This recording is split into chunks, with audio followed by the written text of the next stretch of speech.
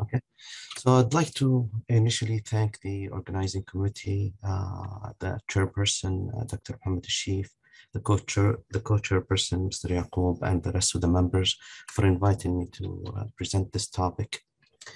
So uh, they uh, give me this topic to talk about the pharmacology and VTE prophylaxis, which was touched on by many of the speakers uh, in the previous presentations.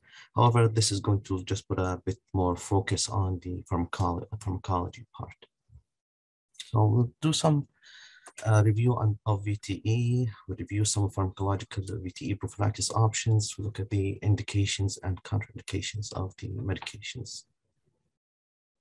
So first of all, venous thromboembolism is, as we know by now, comprises DVT and PE. It is the third, the third most common cardiovascular illness after acute coronary syndrome and stroke. We know a lot about the efficacy of thrombo, uh, thromboprophylaxis. Over, we have over 30 years of experience. However, unfortunately, it is substantially underutilized. So it's not, not all patients are receiving the proper prophylaxis. The VTE does happen and reoccurs frequently once it happens. And unfortunately, it does have long-term complications, uh, such as chronic such as chronic thromboembolic pulmonary hypertension and post-thrombotic syndrome. There's plenty of guidelines available from different uh, resources, including our local guidelines here in Saudi Arabia, uh, but these are the common ones, the, the venous thromboembolism prevention guidelines and resources, the American College of Chest Physicians, Surgical Care Improvement Project, Agency of Healthcare Research and Quality, Deep Vein, Deep, Deep Vein Thrombosis Coalition, the ASCO and, and CCN. So we're familiar with some of these guidelines and these are the references that uh, we've been using. In this table, uh, it looks at the uh, approximate risk of VTE in different hospitalized patients if they don't receive prophylaxis. And this is, I find it interesting. So patients who don't receive prophylaxis, they are in the medically ill patients, whether they are heart failure, chronic obstructive pulmonary infection, the rate is 10 to 20%. And the, the rate we can we start seeing it increasing as we go into the surgical part, like general surgery, starts ranging up to 40%. And once we go to the orthopedic surgeries, we see much, much higher numbers, which can go up to 84%. Major traumas uh, also can go up to 80%. Spinal cord injuries are also up to 80%. Critical care patients, there's a wide range between 10 to 80%. So this is can it can tell you an indication of how important the DVT uh, prophylaxis in these in the in these patients. We've seen this uh, Virchow's triad by now maybe a few times, but this is the uh, VT risk factors. It can happen due to venous stasis, such as polycythemia, increasing fibrinogen, blood transfusion, immobility after major surgeries, or venous compression, obesity, or pregnancy, a hypercoagulable state, uh, traumas, active malignancies, surgeries, burns, and so on, or endothelial activation damage, such as inflammation, trauma, active malignancies, or surgeries. Venous thrombosis uh, happens or more common lower in lower extremity extremities more than upper, and large vessels more than smaller, and deep veins more than superficial veins, proximal more than distals, and commonly behind venous valves. This is the kind of the timeline of the, the introduction of the medications and started out with the heparin in 1930s.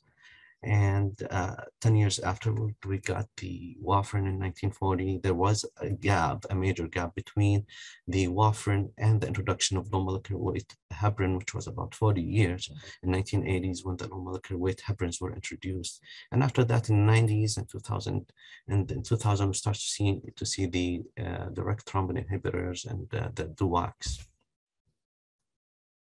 So first of all, let's talk about unfractionated heparin. That's what we commonly see. It's a highly sulfated myco, uh, mucopolysaccharide. It is ex extracted from porcine intestine, intestinal mucosa or beef lungs. It's a heterogeneous compound and all compounds contain a specific uh, pentasaccharide sequence at the end. The pentasaccharide portion of that compound binds uh, to the antithrombin. The complex of unfractionated and uh, antithrombin increases the affinity of antithrombin, which mainly inactivates factor 2 and 10A. So the this is the unfractionated heparin, so it does bind to thrombin factor 10A factor uh, in, in uh, let's see here, 12 and 11 and 9 the kinetics of it, uh, it does have a very small weight. It ranges up to 30,000 Daltons. Uh, the activity between 10A and 2A is one to one, and it is it can be administered IV or subcutaneous. The volume dist distribution of it is 0.07 uh, liter per kg, and the elimination is uh, enzymatic degra degradation at low dose, renal at high dose, half-life uh, of the heparin is 30 to 150 uh, minutes. It is it can get altered by uh, age, hepatic renal impairment, obesity, or acute illness.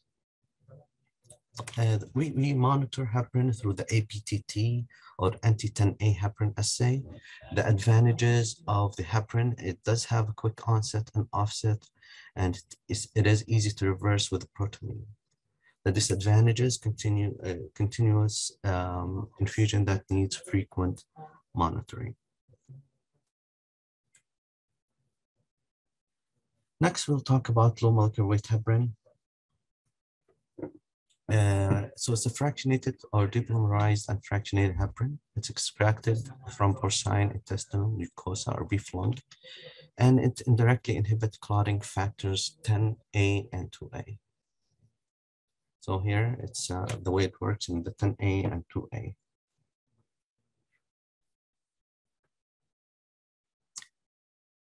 It is more consistent molecular weight, so we can see the weight uh, in, in, a reasonable range between 4,000 to 5,000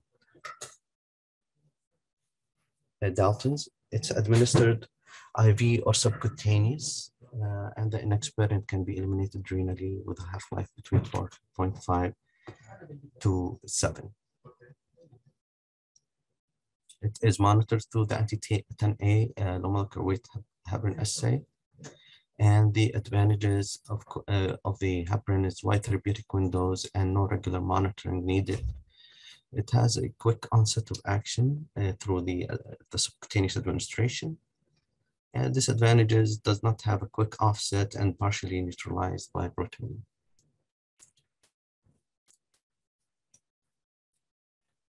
Next is uh, fondaparinux, which is a five-sugar moiety analog of the pentasaccharide binding sequence of unfractionated heparin and selectively inhibit uh, clotting factor 10A by binding to antithrombin.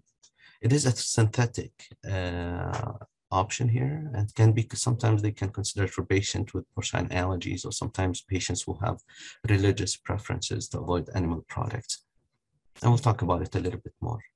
So it's 10A. It's 100% anti-10A, and the weight is much lesser than the, the previous ones. The elimination of the fondaparinux is renal, and the half-life ranges between 17 to 21 hours.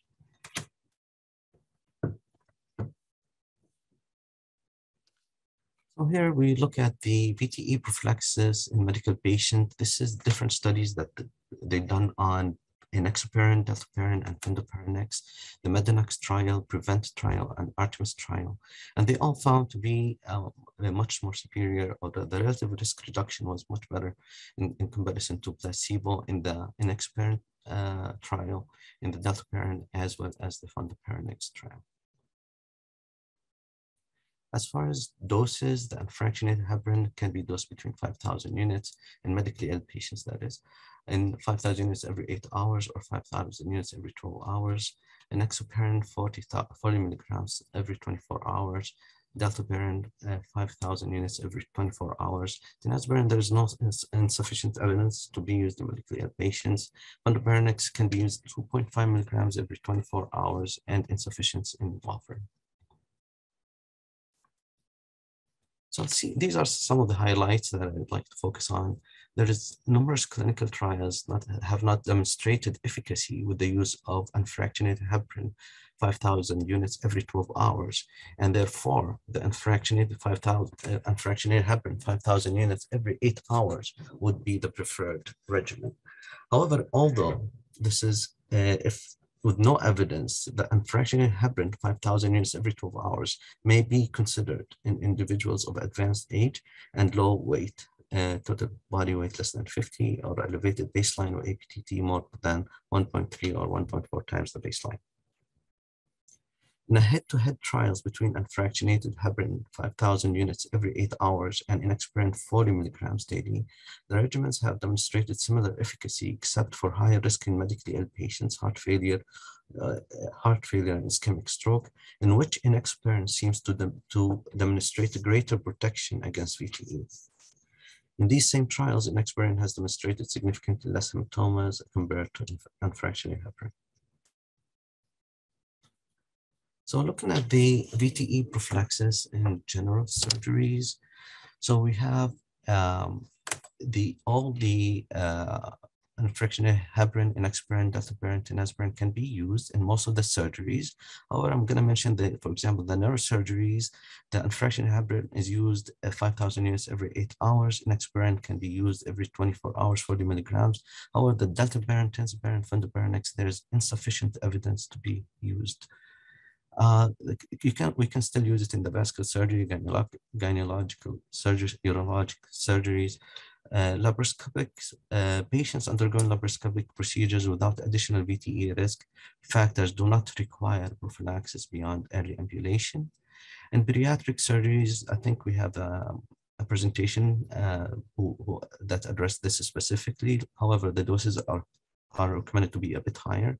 So looking at the uh, unfractionated heparin, for example, to be 5,000 units every eight hours, the uh, enoxaparin 40 milligrams every 12 hours, and the uh, the dalteparin can be 7,500 milligrams uh, every 24 hours instead the, instead of the 5,000. The fondaparinux can still be used as 2.5 milligrams every 24 hours. Okay. So next we'll be talking about uh, warfarin. So it is a competitive antagonist of vitamin K lowers the plasma level of vitamin K dependent clotting factors, inhibits the VKOR needed to generate the uh, active vitamin K. Synthesis of clotting factors diminishes within a few hours uh, by different factors and anticoagulation action starts in one to three days. So this is one of the downsides of starting warfarin, you have to wait and commercially available as an R and, and as an enantiomer. It is used to be the most widely prescribed anticoagulation for VTE. However, with the introduction of new medications such as the DOACs, we start to see uh, less and less of the use of warfarin, but it has it has its place in therapy. We still use, see it in the prosthetic valve venous thrombosis uh, in the antiphospholipid syndrome, uh, as mentioned in the early, earlier presentations. And in, in, many cases, they use it in history of compliance as it is easy to monitor and to uh, identify the levels of the warfarin. Um, there, the half-life of warfarin depends on the clotting factor and it has a different range. The, the shortest one is the seven, which can be four to six hours that may extend to a, a six, 60 to 100 hours. So that in general, warfarin has a half-life of around 40 hours, ranging between 20 to 60 hours. So limitation of warfarin or VKA is unpredictable response. It does have not a therapeutic window. Uh, we need most, the therapeutic window we need is two to three for most of the patients. It is a slow onset and offset of action there's numerous food drug interactions that we have to watch out and we have to consider. There's numerous drug drug interactions, and there's a warfarin resistance issue that we need to uh, keep uh, keep in mind. Uh, there's routine coagulation monitoring required and frequent dose adjustment. So we we, we have to see the patients uh, more frequently to check the, the INR and to adjust the medications, uh, the warfarin accordingly.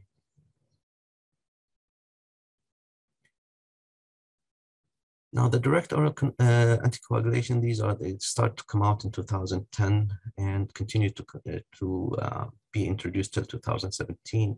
2010, we had the first one was dabigatran, uh, followed by rivaroxaban, apixaban. 2015, we had edoxaban, and in, uh, the latest one was 2017, uh, betrixaban. And they all factor 10A inhibitors except for the dabigatran, which is direct thrombin inhibitor. So as I mentioned, uh, they all factor 10A inhibitors except for the dabigatran, it works on the uh, 2A. Now the DOACs uh, have been, they've been expanding in indications, uh, but this is uh, focusing on the total knee replacement and total hip replacement VTE prevention. This is the remodel trial, which looked at uh, dabigatran as effective as enoxaparin for primary VTE prevention following total knee replacement with a favorable safety profile.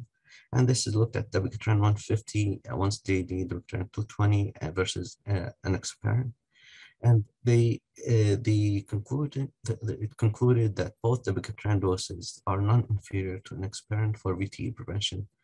Uh, uh, prevention, similar low rate, rate of major bleeding, 90% occurred in the surgical site, 50% occurred before the first dose of dabigatran. In the Renovate trial, they looked at dabigatran as effective as an, enoxaparin for primary VTE prevention following total hip replacement with a favorable safety profile. So it's kind of the same thing. Looked at both dabigatran, both dabigatran doses were non-inferior to enoxaparin for VTE prevention and similar low rates of major bleeding were noticed. This and the uh, record trials, uh, record one, two, three, and four, they looked at rivaroxaban versus enoxaparin in hip arthroplasty and knee arthroplasty. Uh, in, in uh, so there we had about 12,729 patients were randomized. Um, and uh, the, the, they found out that there was the same efficacy and safety outcomes in all throughout between rivaroxaban and enoxaparin. As we are given the DOACs, we have to also watch for the uh, drug drug interactions and we adjust the medications accordingly. So there is a uh, the CYP3A4 inhibitors and the CYP3A4 inducers that they need to be evaluated and need to be checked for whenever we are uh, initiating these medications or whenever these medications are added into ongoing uh, patients. So in this, uh, and right here, we look at the uh, DOACs in uh, renal failure, and I'll focus just on the last line where it says a approved for creatinine clearance. So the dabigatran is more than 30 milliliter per minute is okay. Apixaban, it's uh, more, more than 15 milliliter per minute. Edoxaban data is not available. Rivaroxaban is more than 15 milliliter per minute. Now this has been, this changes frequently. So we'll see with, uh, I think the, there's a nephrology uh, presentation coming up uh, later. So we look into uh, the sort of they have. However, this is approved by the European laws. Now, looking at the VTE prophylaxis in orthopedic surgery, uh, with the introduction of the DOACs, we see them listed also right here at the end, dabigatran, rivaroxaban, and apixaban as options. So we, we have the enoxaparin and fondaparinux, uh, warfarin, dabigatran, and uh, rivaroxaban, and apixaban. So knee replacement surgery, we have we, we can use any of these. Uh, uh, hip replacement surgery, the same thing. Uh, the hip fracture surgeries, there's insufficient evidence under under uh, dalteparin, tinzaparin, and and uh, the uh, NOACs.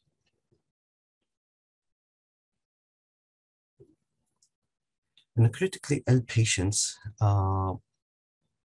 uh, in, trauma patients, the, we try to avoid unfractionated heparin. The low molecular weight heparin is uh, approved with a uh, with enoxaparin 30 milligrams every 12 hours. Fondaparinux insufficient evidence available. Acute spinal cord injuries, uh, uh the unfractionated heparin can be used every eight hours, or uh, enoxaparin, uh, whether you use the 30 every 12 hours or 40 every uh, 24 hours. Still, the fondaparinux is not. Burns the same the same thing as the acute spinal. We have the 5,000 every eight hours or every 12 hours. and the sort of the same thing as far as the fundamentals, not, uh, not um, insufficient evidence. Critical care patients or critical care have uh, the 5,000 every eight hours or every 12 hours, and we have the wide range of the enoxaparin 30 every 12 hours or 24 hours. There's insufficient evidence for the critical patients with the 2.5, however, it can be used if the patient is suspected for HIT. Travel prophylaxis strategies, and this is uh, there's the non-pharmacological part, which we recommend to our patients, whether it is foot lifts or ankle turns.